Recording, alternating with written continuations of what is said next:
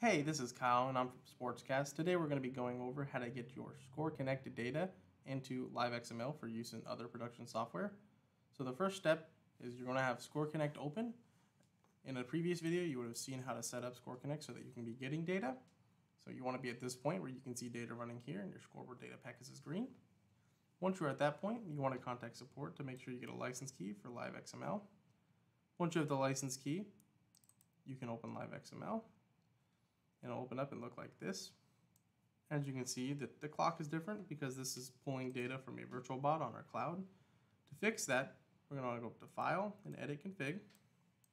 And we want to set this from scoreboard.sportzcast.net to 127.0.0.1.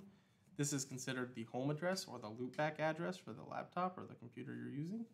Once you save that, you want to go up to here and hit retry.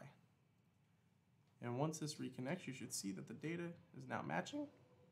You will see that this is not real time because it actually is not real time, but this is real time. So you'll see this maybe a little bit ahead. So after you do that, you should have the data into Live XML, which now you could use for other production software.